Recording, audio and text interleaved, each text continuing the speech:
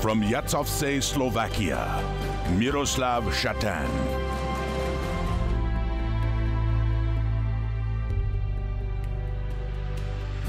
A Slovak legend who helped his country rise to hockey prominence in the early 90s, Miroslav Šatan not only helped Slovakia qualify for the 94 Olympics, he led the tournament with nine goals and led the World Championship C pool scoring the same year. Though drafted by Edmonton in the NHL, his best years were in Buffalo, where he'd score 40 goals in 98 99, helping the Sabres reach the Stanley Cup final.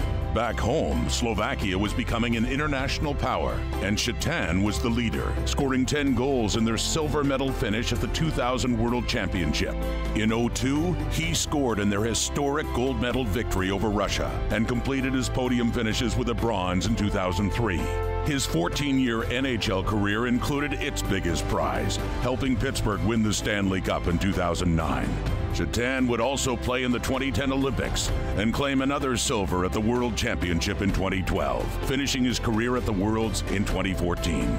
He wore the captaincy for Slovakia nine times, a leader and an inspiration.